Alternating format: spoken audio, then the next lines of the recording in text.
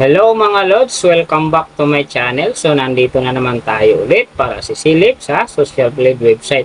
So lagi kong sinasabi na ang Social Blade website ay isang public website na kahit sino pwede mag-open para masilip kung magkano na ang estimated salary ng ating mga iniidolong YouTuber, vlogger, or influencer. So mga Lods, big thank you sa lahat ng mga channel na aking ni-review.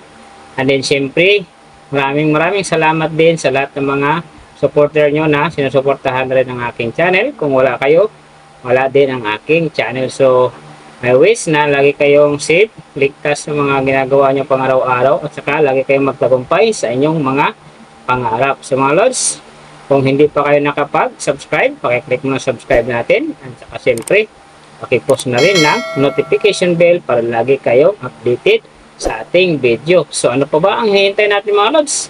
Let's go!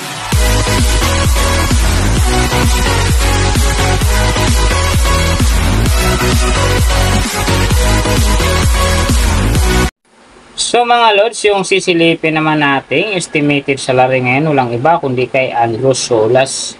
So ang kanyang content mga Lods is about fishing. So silipin nyo ang kanyang channel, yung mahilig mag-fishing. Sigurado mag enjoy din kayo sa kanilang mga nahuli. And then syempre, support nyo na rin mga Lods. At saka huwag nyo rin kalimutan na isama na rin sa pag-support ang aking channel. So sa ngayon mga Lods, si Andrew Solas ay meron na siyang upload videos na 234.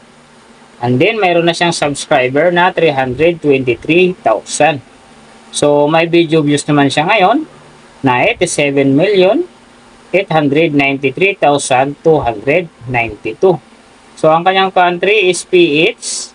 And then, yung channel type naman niya is people. So, yung account naman niya ginawa ito noong June 4, 2020. And then, sa kanyang total grade naman, nakakuha siya ng letter B. So doon naman sa kanyang social blade rank, nasa 87,326.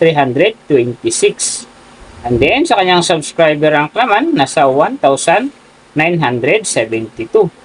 So doon naman sa kanyang video views rank, nasa 158,013. And then sa kanyang country rank naman, nasa 700. So doon naman sa kanyang people rank, nasa 1,476. So nakita na natin yung kanyang ranking. Silipin naman natin yung kanyang last 30 days na subscriber. So nakakuha siya dito ng 10k. Ang hindi lang maganda dito mga lods kasi ang kanyang percentage bumaba ng 31.3%. So ibig sabihin mas maganda pa rin ang pasok ng kanyang subscriber nung mga nakaraan niyang buwan kung i-compare natin sa ngayon. So doon naman sa kanyang views mga lods in the last 30 days nakakuha siya ng 4.6 M views. So, hindi din ganun kaganda mga lods kasi ang kanyang percentage bumaba din dito ng 23.9%. So, maganda rin talaga ang pasok ng kanyang views ng makaraan yung buwan compare sa ngayong buwan. So, nakita na natin yung kanyang ranking, last 30 days subscriber and din yung kanyang views. Silipin naman natin yung kanyang daily summary from subscriber, views, and then yung kanyang earning.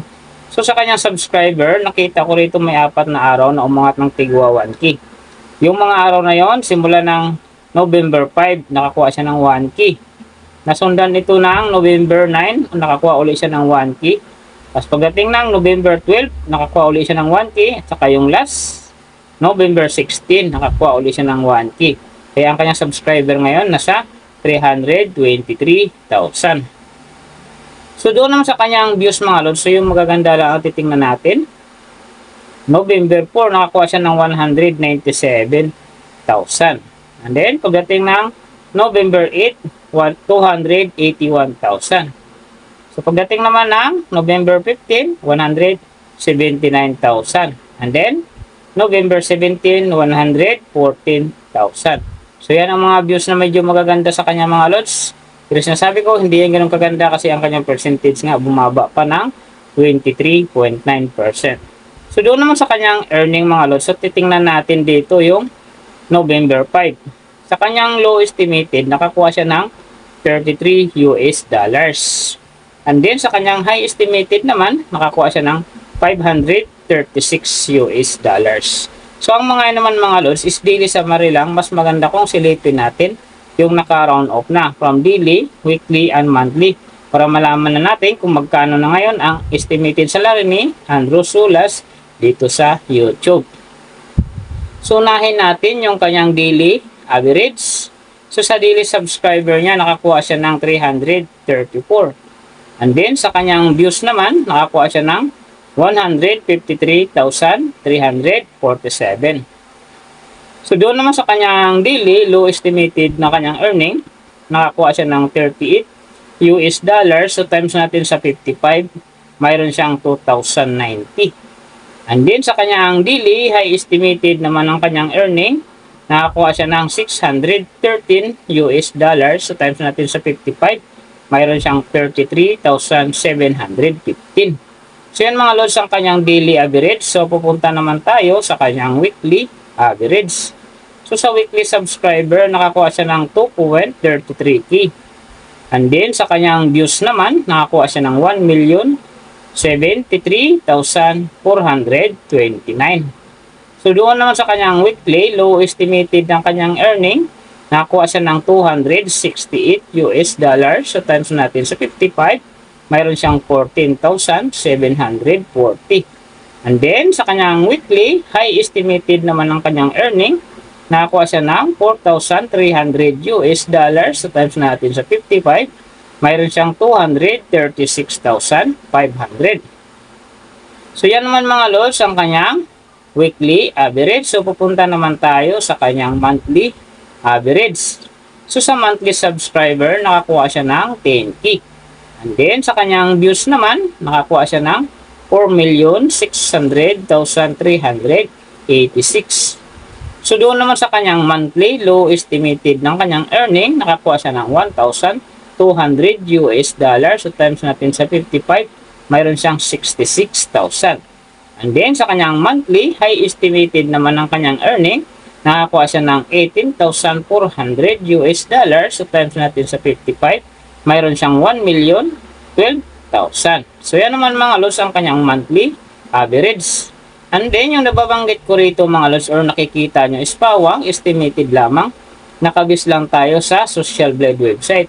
Isang public website yan na kahit sino pwede makapag-open para malaman natin kung magkano na ang estimated salary ng ating mga iniidolong YouTuber, vlogger, or influencer.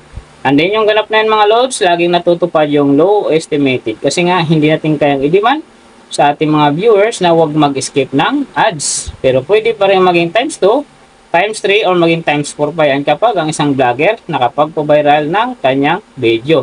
Pero kung supporter kayo mga loads ni Andrew Solas, ni Idol Inday, huwag na kayong mag-skip ng ads para gumanda rin ang kanilang kita. Pero siyempre, huwag niyong kalimutan na isama na rin ng aking channel na huwag na rin i-skip ang aking ads para sa big help din yan sa aking munting pangarap. So mga lods, maraming salamat sa mga sumusuporta sa aking channel.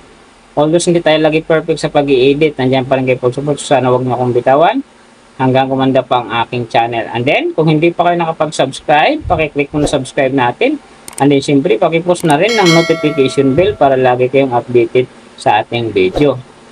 So, kung mayroong gusto magpagawa ng video na sim nito, para sa inyong mga iniidolong YouTuber, vlogger, or influencer, comment nyo lang sa baba yung tamang detalye ng kanyang channel para ma-search natin kagad at magawa natin sa next video. So mga Lods, hanggang dito na lang. Maraming salamat sa mga sumusuporta sa akin. Ingat kayo palagi at sana gabayin kayo palagi ng Panginoon sa inyong ginagawa araw-araw at magtagumpay din kayo. So hanggang dito na lang. See you on my next video.